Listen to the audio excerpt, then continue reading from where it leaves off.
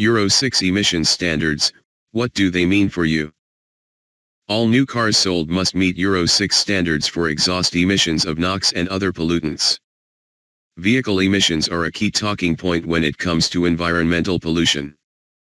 In the past, car makers used to produce cars that delivered greater and greater performance without any regard to the pollutants coming out of the exhaust. However, with the onset of atmospheric studies showing a rise in the number of pollutants in the air, governments and legislative bodies across the world have clamped down on vehicle emissions. While vehicles are just one of many contributors to overall pollution, manufacturers are easy to regulate against as emissions reductions can be factored into regional vehicle production standards. Over the years, vehicle emissions have dropped as a result of ever stricter legislation, although in recent years it has become clear that some car makers have struggled to meet legal requirements, as evidenced by the VW Group's emissions cheating scandal. But what is actually required to meet the latest emissions legislation? And who sets the standards for car manufacturers to meet? We've rounded up the latest standards and testing procedures in this guide, as well as explaining what new legislation is scheduled to come into place to improve the robustness of emissions testing. Currently all cars old in the UK are tested before going on sale under the new European Driving Cycle, NEDC, procedure. This test measures emissions under laboratory conditions on a rolling road. The tests are witnessed by government agencies, and the procedure is conducted in a controlled environment. The ambient temperature, vehicle fluid levels and tire pressures are all measured to maintain consistency between tests. This ensures the test is as accurate as possible, so all cars are tested in the same condition and means that the emissions figures recorded for them can be compared directly to each other.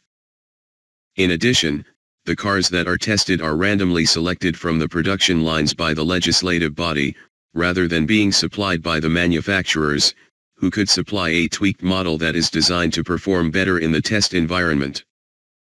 However, as Volkswagen proved, car makers can still circumvent these regulations without doctoring a test model. So to make emissions tests more reflective of real-world driving, a new testing procedure is currently under development to be introduced in 2017. Under the new proposal there are plans to include an additional real-world driving emissions, RIDE, test to detect regulated pollutant emissions.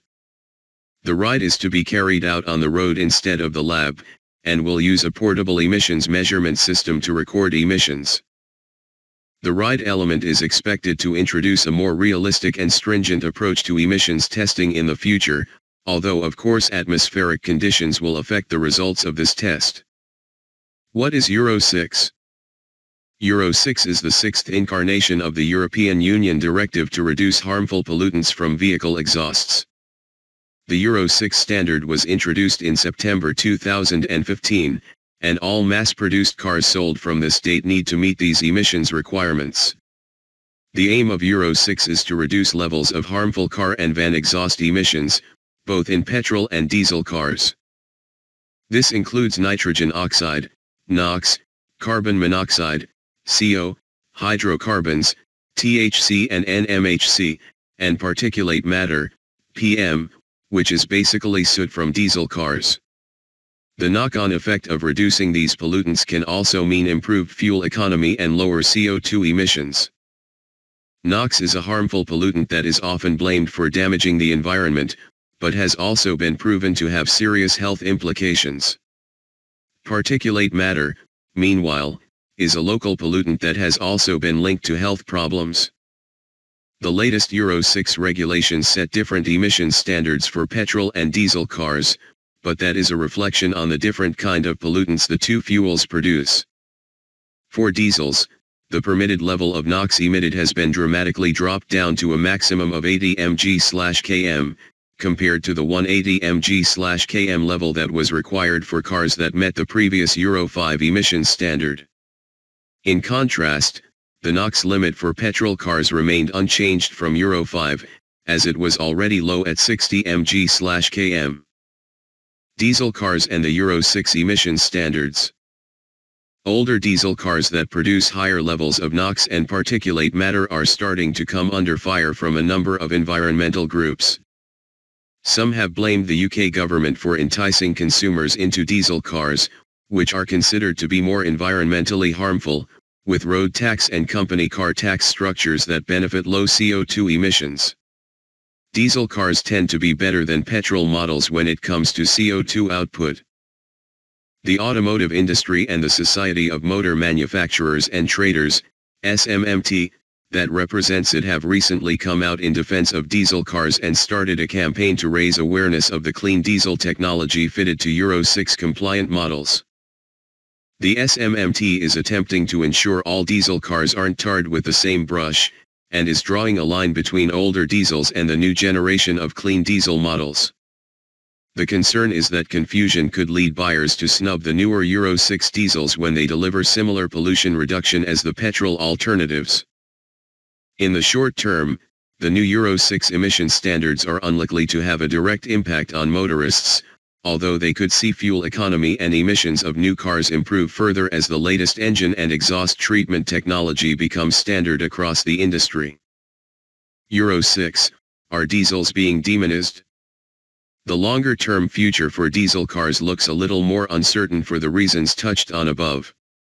Moves are afoot within government, at a local and national level, to penalize owners of diesel cars financially. Diesel cars found themselves in the spotlight with former London Mayor Boris Johnson calling for an ultra-low emission zone, ULEZ, in London be put in place by 2020. An ULEZ is already in place for large commercial vehicles, but this could be expanded to cover older diesel cars and vans that don't meet Euro 6. They would then be charged an extra £10 to enter the capital on top of standard London congestion charge. At the moment, current London Mayor Sadiq Khan has opened a consultation on which way forward the London Assembly should progress. Some councils have already started to charge owners of diesel cars more for parking permits. Islington Council in London has introduced a surcharge of £96 for anyone with a diesel car. It claims that the reasoning behind this is to protect residents from the health risks associated with diesel emissions. Euro 1 to Euro 6, European emissions legislation timeline. European emission standards first came into force in 1992, with Euro 1 standards becoming law. This initial standard ensured that diesel cars emitted no more than 780 mg/km of nitrogen oxide, while the maximum for petrol engines was 490 mg/km. This moved on to Euro 2 in 1997 that dropped diesel NOx to 730 mg/km and Euro 3 standards followed in 2000 lowering the diesel NOx limit to 500 mg/km. By 2006, Euro 4 emissions were in place reducing the maximum NOx Indiana diesels to 250 mg/km and Euro 5 reduced it further to 180 mg/km in 2009. Throughout this time, the maximum amount of NOx emitted by diesel cars has been well behind that of petrol models. Under the new Euro 6 standards, however, the maximum level for NOx in diesel models is 80 mg/km, compared to 60 mg/km in petrol cars. Euro emission standards for diesel cars. Euro standard. Date. CO. NOx. PM. Euro 1. July 1992. 2.72. 0.14. Euro 2. January 1996. 1.0. 0.08. Euro 3. January 2000. 0.64. 0.50. 0.05. Euro 4. January 2005. 0.50. 0.25. 0.025. Euro 5A. September 2009. 0.50, 0.180, 0.005, Euro 6. September 2014. 0.50, 0.080, 0.005. Euro emission standards for petrol cars. Euro standard. Date. CO. NOx. PM. Euro 1. July 1992. 2.72. Euro 2. January 1996. 2.2. Euro 3. January 2000. 2.3. 0.15. Euro 4. January 2005. 1.0. 0.08. Euro 5. September 2009. 1.0. 0.060. 0.005. Euro 6. September 2014. 1.0. 0.060. 0.005.